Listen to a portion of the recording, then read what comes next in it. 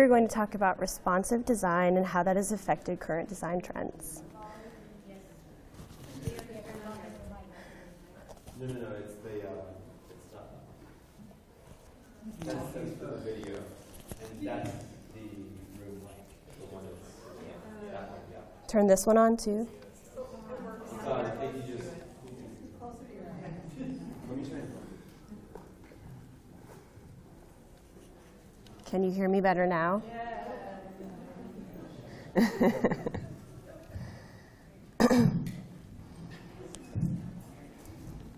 you go, let's try that. Okay. No? Hello? Just talk into it, yeah. Hello, everybody. My name is Sarah. Uh, Syncing to.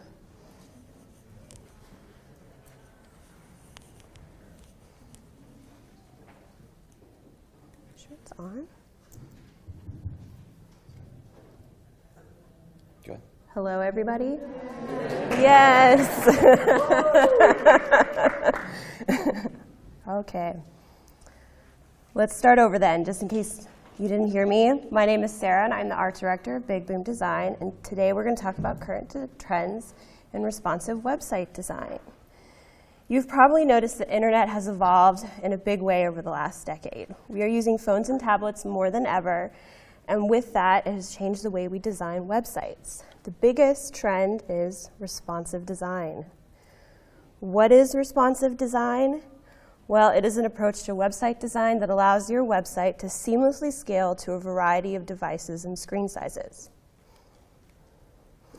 Think of it like this your website should respond correctly to the device that it is being viewed on. Take a look at this video of this website in action. You'll notice how the graphics are laid out and it's scrolling down.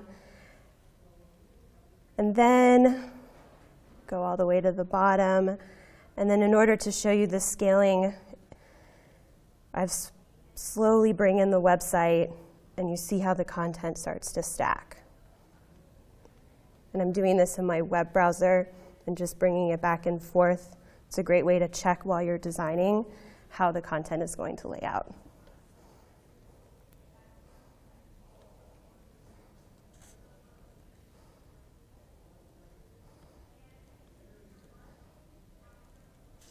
Okay, so what are some of the main elements that make a successful responsive design? Those would be user-friendly layout, consistent navigation, keep the logo and the menu at the top, make sure your contact info is clear on every device, and your graphics should scale and stack appropriately with your most important information on top. And the final, most important thing is to make your copy accessible on all of your devices.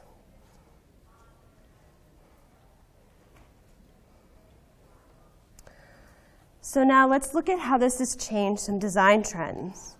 So when mobile design first started, desktop websites were often designed first, and then simplified versions were created for mobile devices. They were built separately and could only be viewed on their designated platforms. Now most designers create one design concept that can be scaled to various platforms, hence the term responsive design. So here's some logo designs over the last decade. You've got your old on the right for you guys, new on the left. You'll notice that the new style is much more minimal. There's either one, two colors at the most. They've lost all their textures, their gradient styles. They've also limited the colors, which is helpful to, for example, if you look at Dropbox and Spotify, they use one color, and then you can change that color depending on what it's being viewed on if the background color is different. And also, logos are horizontal in format and have separate elements that can be used across various devices.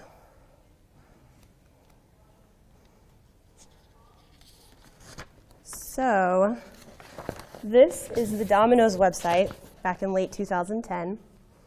I just want to point out, or I can't leave because of the microphone. if you look over in the top corner, corner, you'll see their old logo up there, and it even has gradients and patterns added to it, which I think is kind of funny because the actual style was 2D, but then during this time of website styling, they were like, no, let's add even more style to it. You'll also notice that it's all on one screen, right? There's a ton of content. We've got a whole paragraph of stuff down at the bottom. There's also a button prompting you to download the app, right? Smartphones had just become popular at this point, so this website doesn't scale. If you wanted to view it on a phone, you had to actually download that separately. This is Domino's website today. It's much cleaner. You'll notice they still have the domino, which has been their emblem like since the 50s, but it's, it's clean. It uses 2D style. There's no gradients. The, the images are sparing. The text is very limited. This is on the desktop view on the furthest, and then over here is what it would look like on mobile. And it stacks nicely. You can still read all of the content, and the most important information is at the top, the menu, which scales down to the hamburger menu, the logo, and for them, ordering online. Here is the Dropbox website from late 2010 as well. It's uh, that big button is just super, super heavy gradient, lots of style. You'll also notice they're using their, their old logo as well, and they just have a, a solid page. It doesn't scale. And this is what their website looks like today. It's much more colorful. They're using their new logo at the top. It's very clear where the sign-in information is. And depending on if you're on mobile or on your desktop, you can find that easily, and the content stacks. And I also like using this example because while limiting colors is important, you can still use big sections of color with limited text, and it still is very clear and easily readable for the viewer. So to recap, there are the reasons and benefits for these current design trends as we've already discussed, mobile devices, also, the simple graphics create a smaller file size, which makes it easier for the website to load depending on any device that it's being used on. And all, also accessibility and all-around user-friendly design. We are relying on technology more and more, and with that, we need to make uh, information easily accessible to everybody.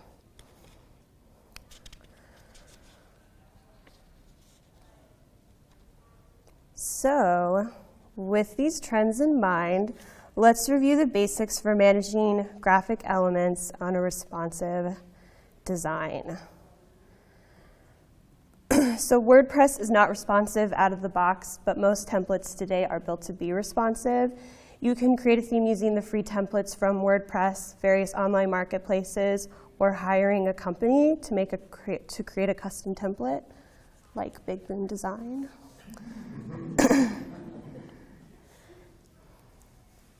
And let's see.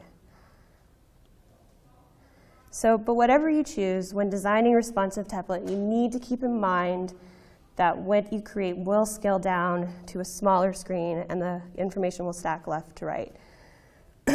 um, sorry. So, why is this important? It's because it changes the layout of your website and the way your content is viewed. So more sections on a desktop computer mean even more on your phone. So something that seems like it's very important and prominent on the desktop will be even lower when it's viewed on a mobile phone.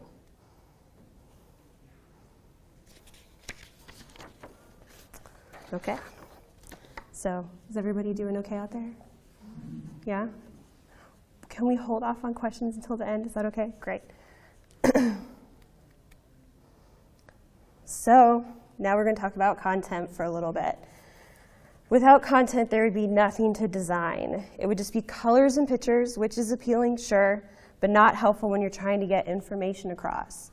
Your content should influence your design. You should ask yourself, what are the three to five most important items on my website?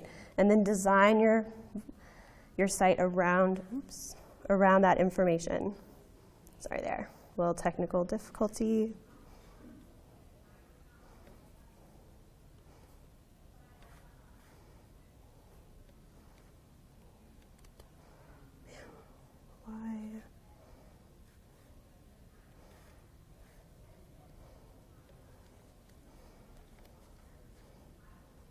So sorry, guys. My mouse stopped showing up.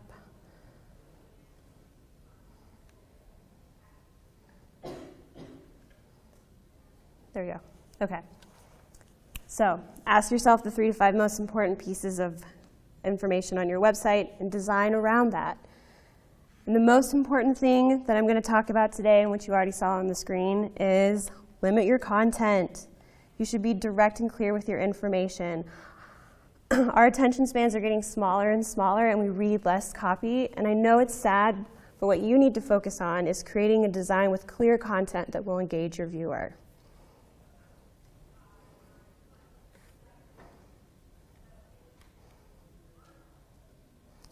So let's take a look at some examples of responsive design.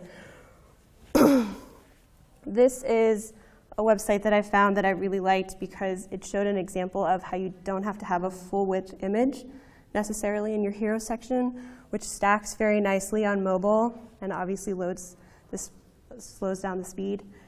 Also, you can't see it in this, but this is a video, and when it scales down, it turns into an image, which is helpful. Some other things to keep in mind are, does the menu scale well? Is the content clear at the top? Are you getting across your most important piece of information? and our next example I thought was appropriate for today. It's the WordPress.com website. And they also use the small image, and it's nice because they were able to incorporate that into mobile, which I thought was nice to show because while we have some limitations in responsive design. It doesn't necessarily curb our creativity.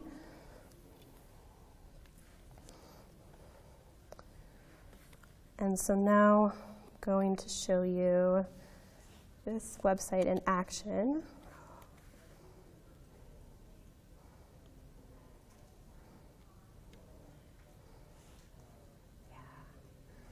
And so they've used big sections of color, and then a lot of their content is still very legible. I also like it because the desktop does have mobile, but then as you'll see, as it starts to scale, the content gets more simplified and more direct.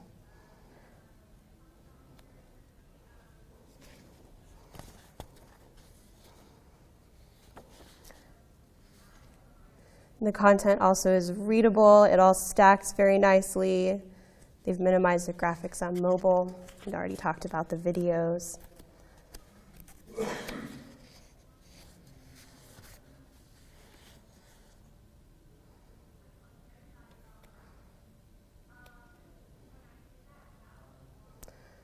So we've covered the basics for creating a responsive theme. Let's recap some of the best practices for design and media management on WordPress.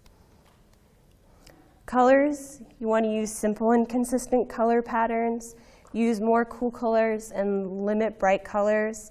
Also limit your patterns and gradients as well. Use 2D shapes, as you'll see in this example here. The one on the left is obviously much more legible to read, while with these gradients and these patterns, it makes the copy harder. With logos, you'll want to use 2D style, remove gradients, textures, and patterns, limit the colors, keep horizontal in format if possible, or create different styles for different needs. For fonts, you want to use web-safe fonts or Google-safe fonts. Sans serif is better for small copy. And also, you do not want to use text in images. You want to keep all of your text kind of sweepable, is the term here, so that that copy could be copied out of your website and is not in an image where it can't be read. And you want to have large sections of copy on light backgrounds and use dark text, and white space is okay. Here's another example. As you can see, the one on the, the right is very clear, and this one is harder to read. and also on the, the one on the black background, you'll notice that the copy is not web safe and it's also hard to read, so it's just all around not a good idea to go with that. So, images, you want to make full width images your main focus, then use the focus of it be the center. So, here, like in this example, you see that their heads, since they're so far at different sections, when it starts to scale down, you might just get like his nose and maybe an eye, or like the top of her forehead and the bottom of her chin. It's just not a good idea. But this lovely picture of Asheville, once it scales, it still is pretty good at catching like those clouds in that center section of the frame.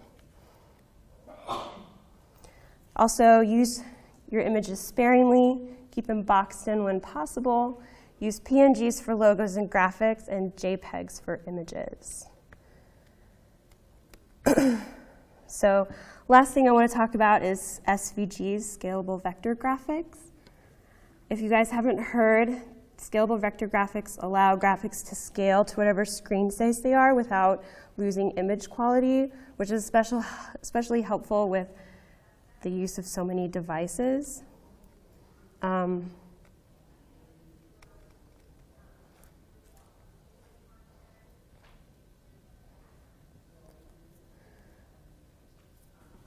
So, yeah, we've covered a lot of information today, and I want to remind you of some key points to take away. Remember to limit your content. Consistency is key when developing your responsive theme. Strive for simplicity when creating your design, and have fun. So, if there's any questions, now would be the time.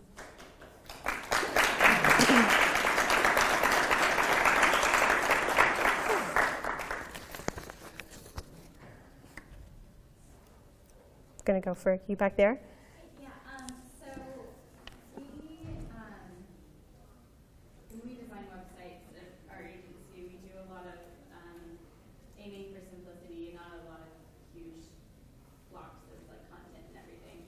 Um, but then people who are running the SEO um, are a lot of times like need like three to five hundred words for SEO, and it's kind of like how do we how do we meet in the middle there um, when we know that people aren't going to be actually reading every single word of like paragraphs people are skimming um, but for SEO purposes it can really help with that is there a best way to kind of find the middle ground there I mean, sometimes it, it is hard to find the balance, especially if you have a very content heavy website as well.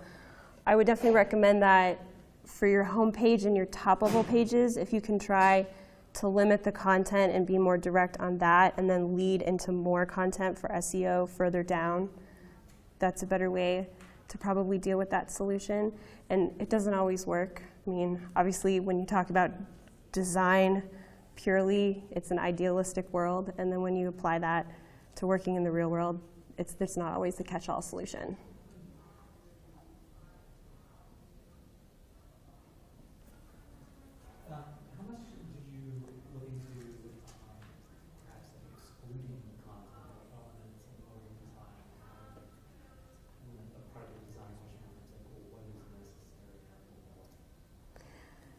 Um, I think one of the best ways to deal with that is actually to put in some tracking on the website, and you can actually track. Like uh, Crazy Egg would be a really good example, and they give you heat maps of desktop as well as mobile, and so then you can see what people are clicking on the most on your mobile phone, and then that can actually inform you what sections are not necessary.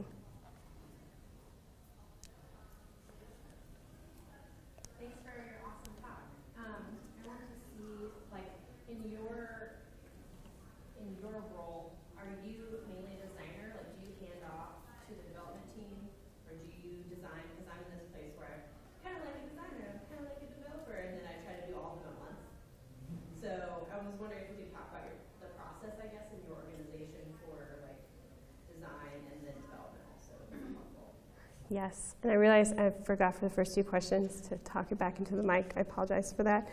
Um, so your question is, what is the process of working with design and content through when you're dealing with a client? So um, I would always stress, which is why I had a big section about content. Like, I try to make my clients focus on content first. Because it's really hard to start talking about design when you don't have the actual base of what you're trying to design. And it can be hard, I get it. Like, when we create our own personal websites, we actually hit those same walls that we do with our clients where it's like, well, I don't know what I want to talk to you about myself. But um, there's, I mean, there's a lot of great content out there, but definitely using like website tools and Google searches to see how people are using wireframes and site mapping in order to help bring focus in. And then also sometimes if the client just doesn't know, sometimes you can propose a set of client and then use that basically like in a testing phase to see if it works and then like go back and edit. So there's a, a handful of ways to deal with it. Janine? Building on that question, um, I know, because I work with you, that you've had that, you've had the chance to build some sites yourself using some of the tools that we've assembled, and then sometimes you work with a bigger crew and hand things off to the developers on our team. Can you talk a little bit about like what it's like, like having done things those two different ways, like frustrations or surprises? So, okay, so Janine mentioned that while it's not usually singular in a company, you're working with a team in order to come up with this, and there's handoff at different points. And what do you do in order to help with that? Um, I mean, a lot of communication is very important, and a, a ton of back and forth. I mean, we must do a ton of revisions, and then we'll have these group discussions where we'll talk about, well, based off of our previous experiences with similar sites, how does this elevate your content by doing it this way instead of another way? Um, another note, which I always hesitate to push up to put out there, is sometimes you have to be pushy. Like a client may come in and they're like, I really want this this specific way, but you know based off of current trends or what's the better way to get your information across that this would actually be a better way. And so if you can talk to them openly and be like, I want to give you the best possible option and this is what I think that it is, you can actually help push people in the right direction. I don't know if that answered your question, Janine. Thank you. Okay. there in the back. Do you use homepage sliders anymore? So the question was, do we use homepage sliders anymore? And yes, we do sometimes. Homepage sliders can be tricky. Um, as we talked about, you have to worry about the layout. The more slides you have, it'll slow down the load time on devices. If you choose to use a slider, I would recommend only having it on your desktop and then transitioning to a static image. But I mean, there's plenty of websites out there that that use that use sliders and also background videos, which are very nice too. So it's it's not a bad idea to have animation. I just think it's it's important to limit it and think about how much of it is really helpful to the viewer.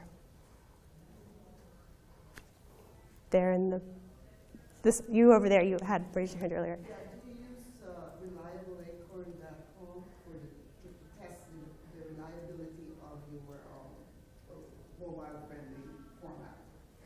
The question was if we use reliability acorn, and I do, yeah, we do not use that personally, um, but I'm not really the one to ask that. That's more of a, a developer team question. Boomer in the back. That's something with those last two. So as far as the uh, homepage sliders, there's kind of there's been a shift towards more of a hero image concept, which you can still do a slider. Um, and so when you say you know typical slider, you're thinking rectangular, kind of fixed width, fixed height. That's kind of evolved to more of a, big hero image, but you can still have multiple slides. Yep. And then on the um, on the testing side, a great tool is I wish the domain was easier, but it's uh, like Brad Frost uh, ish. If you Google the name Brad Frost and then ISH, it's a really good uh, uh, breakpoint checker and responsive design checker where you can plug in a, a website and click through all the different screen sizes. And there's also like a disco mode that will just go in and out and let you just sit and watch what happens to your design at different breakpoints, and then you can kind of make notes about, you can pause it and make notes about, oh, well, at this breakpoint, this is completely off the screen.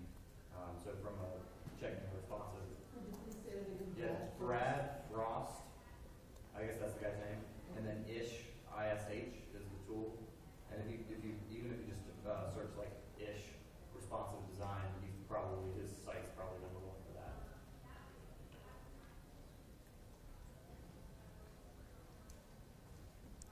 there any more questions?